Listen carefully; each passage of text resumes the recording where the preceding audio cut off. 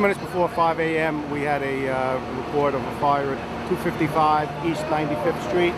Um, our units arrived in less than two minutes. They found a heavy fire on the first floor with some extension to the second floor. Um, a heavy smoke condition. They had uh, uh, two people who had jumped from the second floor uh, were on the sidewalk. They uh, made entry into the building, uh, extinguished some of the fire on the uh, fir- first floor hallway.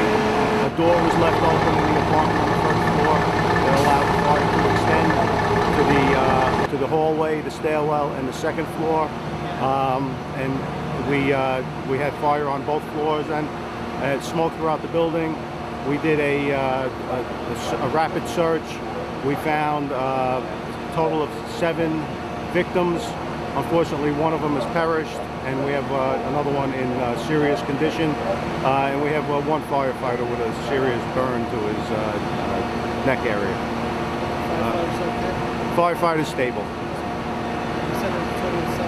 Total of seven occupants.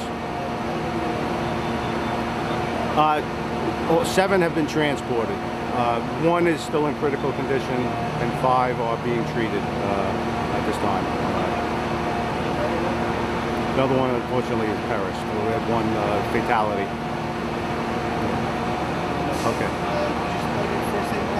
I did. Uh, Stephen, S-T-E-P-H-E-N, Moro, M-O-R-O. All right. The fire is, um, is being investigated at this time.